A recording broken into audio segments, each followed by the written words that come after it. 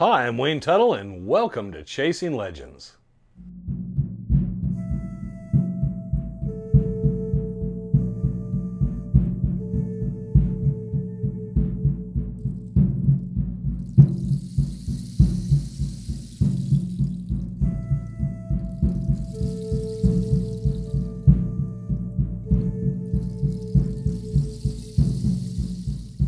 Welcome back to Chasing Legends. I'm Wayne Tuttle, once again your host for another Monday afternoon of thrills and chills and whatever else is about to come. Before we get any further, please hit the subscribe button, hit the notification bell to know when our videos are coming up Mondays, Fridays. But still, you get an alert and know that there's a new one up just in case something unusual happen and we miss one.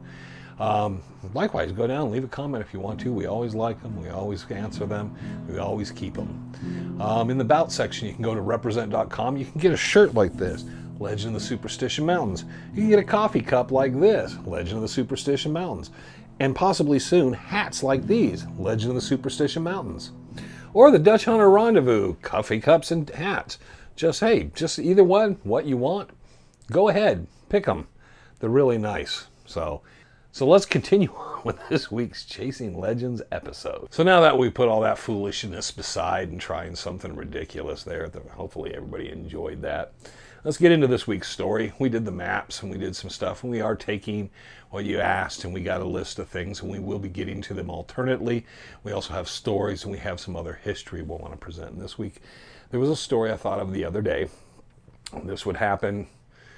I first heard of it in the mid 90s to late 90s didn't act upon it till the early 2000s. A gentleman's name is Frank. It is not Frank Augustine. He's a different person named Frank. He was an older gentleman, but not Frank Augustine. But this Frank, he was going out in the mountains and hiking and stuff, and I ran across him. And he talked about, we, we got in a conversation, and somehow the conversation got in the Superstition Mountains. And the thing was, we both really enjoyed and talked about the book The Killer Mountains by Curt Gentry and Glen Magill's um, treasure hunt up in the mountains. So we're discussing it all. One of the points of discussion was he had been out, and I have likewise back in the 80s, but we talked about the trail that Glenn McGill seems to make reference to that would be on the east side of Bluff Springs and the LaBarge side and that no one's really been able to locate it. I think Tom Kollenborn found a couple spots, but he said it really couldn't tell if it was a game trail or for what it had been. But no one could find this reference that Glen Magill had made that there had been some trail on the eastern side of Bluff Springs, because generally that trail is on the southwest side and goes up the southern route and then comes up on the ends up on the southwest end of Bluff Springs, the Ely Anderson Trail. So we talked about it a bit, and he said he'd found something up there. He'd been looking for years, you know, he would go in, and he said his favorite trip was he would make the trip to Charlebois, and he would spend the night. Now, he had to be in his, well, when he did this, he was probably in his 60s or 70s. When I met him, he was quite a bit older, and he hadn't been really going out as much. But he said when he came to Arizona, um, he would take the hikes, and he liked to go out to Charlebois and he really wasn't a treasure hunter or anything like that, but he'd read the book and he wanted to explore this. So he was going through there. And what he would do is look at a section of the mountain and he would go up and try to find areas he could go up Bluff Springs on that side and look to see if he could find any sign where there'd been a trail. Um, any type of artifact, anything laying around, anything to give him any. Because that side of the mountain, there's just not much give where you would think you would find anything. And Glen Magill gives kind of a description of where it was. The trail was completely blown out. And all, and it sounds more similar to the Ely Anderson to some degree, but he really makes the point that it's on the east side of Bluff Springs. So Frank had been doing this off and on, and he said he'd been out there one time, and it was before he'd hit Holmes Springs. And there was an area he went up in, and he said he went up to this one spot. He was just working his way around. And he said it was really kind of odd because once he got up in there, he got by some, there was some bigger boulder rock outcroppings. And as he got back and he was looking and kind of not trying to, really couldn't find a way to go forward or up any further. And he kind of, had not cliffed out, but kind of boxed out. And he said he turned and he saw an opening. And he said the opening was maybe only about three feet high and about three feet wide. And he said he looked over and it was kind of odd. And he said it was kind of one of those things where you can't see it except really from one angle. Now there was a whether it was a tree, a bush, or something. There was something that kind of kind of kept it hidden, but it was also kind of at an angle. So he said you literally had to be turned and getting ready to leave, but not fully turned. You had to be kind of, as you turned, you would catch your eye. And he looked over and he said it was very difficult to get to. You had to kind of go down and back up and around to get to it.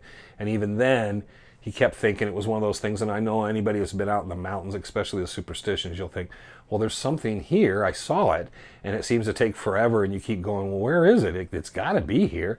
And you keep looking and looking, and it's just, and then it finally is there. He said he got there, and he wasn't quite sure what to make of it because it was an opening. He said it had been rocked up but not rocked like in the Waltz tale where Walt said, "Oh, there was this tunnel and I walled it up." He said it actually had some sort of mortar or caliche in the rocks, and it had a frame of a door. But he said at the bottom, he didn't understand why at the time, and I told him what I thought. But um, it had about a wall that was probably I'm, I've got my hand out of camera frame, but uh, it was probably about two feet high at the bottom. And he said that puzzled him because he couldn't understand it. It was like he'd have to stoop down. And then he said, you know, the difficulty is not only when you're stooping down to get into something like that, but you got to step over something. And he said there wasn't much of a ledge to it, maybe two, three feet. You had a very, very tight spot to stand on. And it was solid rock, he said. But he said he kind of got inside of it and then it opened up after maybe only three or four feet. He said it didn't go very far and then it just opened up into kind of a larger open room spot. Um, the floor, he said, it looked like they'd leveled it out with dirt or sand or something, and it was actually kind of flat. He thought, wow, it, it's not a mine. He said he, he couldn't really rationalize whether it was a cave or a mine. He said the um, open interior part was probably 8 or 10 feet by about 8 or 10 feet and he said it was probably only about five feet high. He said you had to stoop um, the whole time you're in there. He said, which was a pain. It was easier to get down on your knees. He said there was no snakes, and that's what I mentioned to him is that the entrance probably was so no snakes, any other critter, something would be kind of difficult. Um, a lot of animals they wouldn't want to go over that little two foot bump, jump over and get in there. So it'd be kind of give you a, a, kind of a safe zone, perhaps. Now, usually you see those in springs, and I asked that question. I said, "Was there any moisture, anything moist?" And he said, "No, there was no moisture, no sign of moisture, nothing in there." He looked at all the walls, looked for petroglyphs, he looked for any kind of smoke stain. He said there was just nothing in there. And he visited it two or three times. He said he never found a single artifact, nothing in there. So um, he told me the story kind of jotted down, and I think it was on a napkin. And someday I'll have to pull out some boxes of old stuff I got and see if that got that napkin still. But kind of told me where he thought, you know, about where it would be and all. And that was all I thought about it. And this is, like I said, mid 90s, late 90s.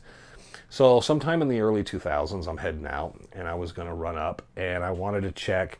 I was going out Bluff Springs, and I wanted to check Holme Springs in a couple spots.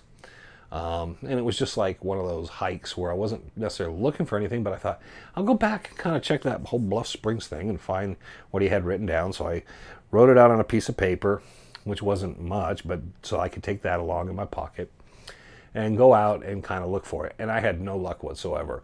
Every spot that I thought kind of fit his description, I would go up into.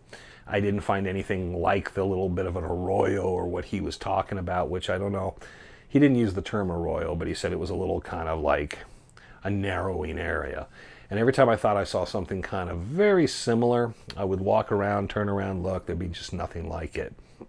And I spent pretty much three or four hours just up and down in these spots because he said it wasn't very far.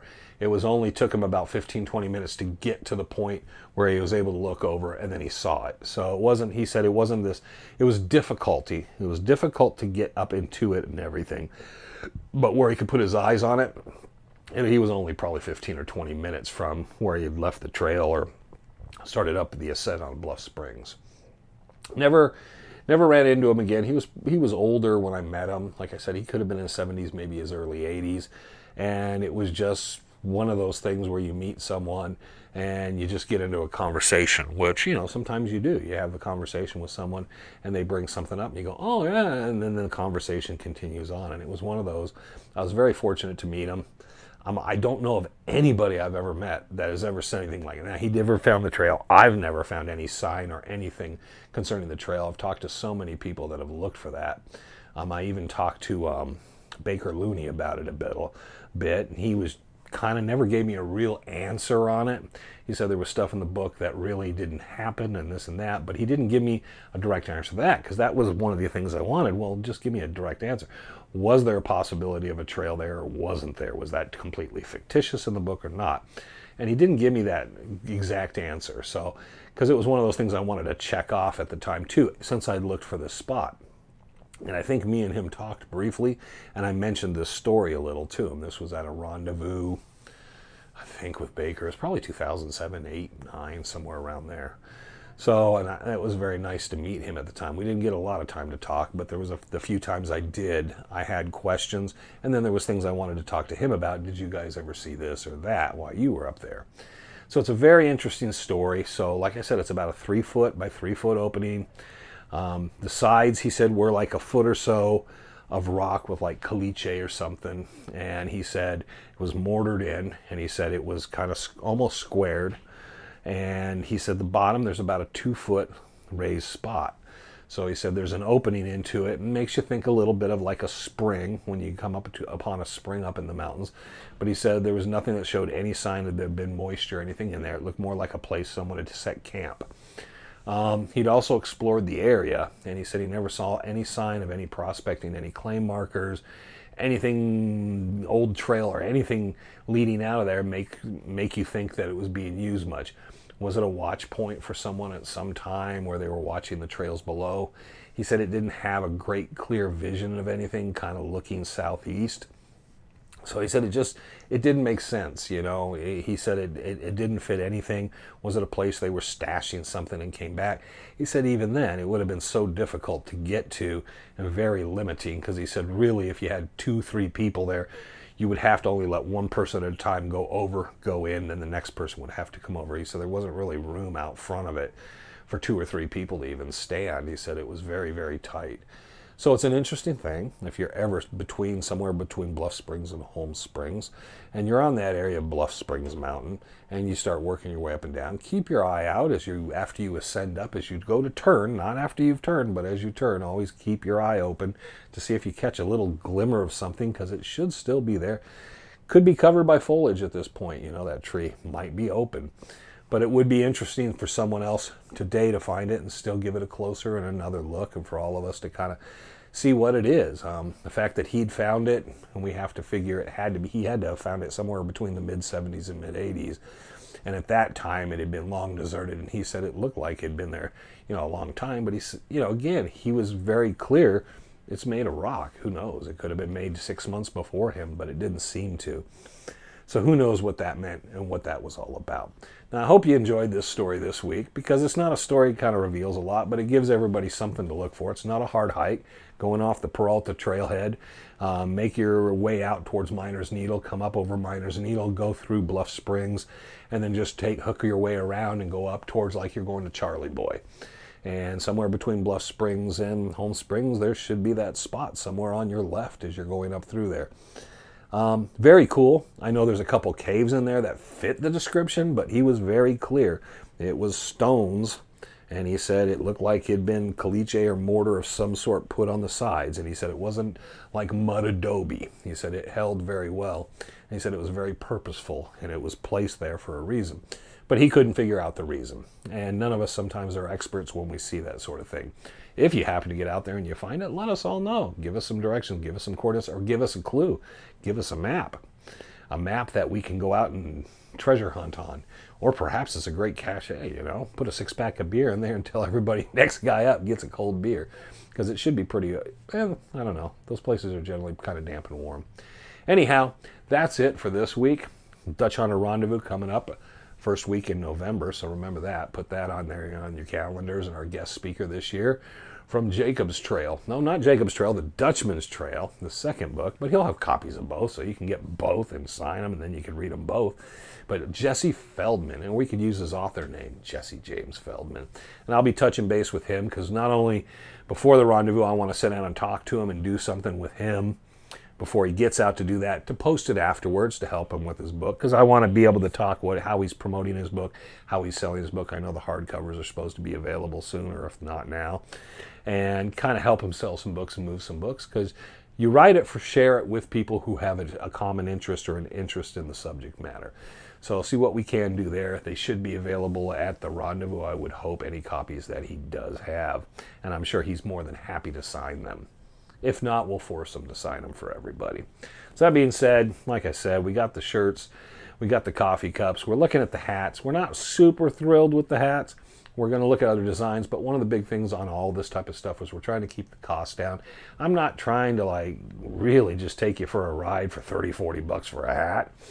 Um, I tend to look at something and go, you know, the hats I ended up with, it was because I looked over and I said, oh, they're on clearance. They're going to discontinued item. Hmm. And it was like 15 bucks. So I grabbed one and then I grabbed two. And then after I did the show, I realized I really like the hat. Frank hates them, but I like the hats. They're very comfortable. They've lasted well for me. But since they're discontinued, I went back out and they were discontinued even more. It was like 10 bucks a pop. So I bought a few more just to have backups because the horror was on towards the end of filming is the hat blew off once up on above Fish Creek Hill and it almost went off the cliff. And I yelled at the cameraman and audio guys, you better grab that hat because that's the only one. And everybody started just scurrying. You know, we almost lost a guy over the edge because they had to get the hat because once the hat was gone, we're going to have to switch hats completely on the show. And they don't like to do that. So that hat at that point had kind of its own little thing. So they're all, and they all break in a little different. So each one of them is a little different. But um, that being said and done, sorry, second story, bonus story, okay? But thank you for joining us again. Thank you for joining us on the Friday Lives. We'll try to do something again this week, and I'll try to kind of cook up something special. Um, I don't like to announce it because things do fall through. We got a lot to do, and what we're going to be doing this weekend, um, prior to the Chasing Legends, is working on the episode OTFs and a lot of our little interview footage and stuff and start compiling stuff together because I know everybody's looking forward to that stuff. And Frank and I have been talking about it, all this material we've put together. And we want to put it together in such a way it's going to be uniquely different as the season one on history was, and then two, three, and four on YouTube, where we want this to even be different than that. We want this to be something that you really can sink your teeth in and you're going to pull a lot of knowledge out. We don't want it to be repetitive. We want it to be something really concise and you're going to sit there and you're going to hear. We're not going to reference things. We're going to let you hear about the history and what we pulled out and what our concerns are and stuff. So you're going to get the research in as much as everything else. So I think everybody should look forward to those as we get closer and closer to pushing that stuff out this fall. I know it's been a long time coming, but I think it's going to be worth the wait. And maybe we'll have some new stuff like a new intro. New intro would be nice. It's kind of getting old now, but pushing something new. So thank you again for joining us here at Chasing Legends on Mondays. Okay, remember every Monday. And until the next time, I hope everybody takes care. They have an awesome week. And always remember, I'm Wayne Tuttle, and you're not. Thanks for watching, and take care.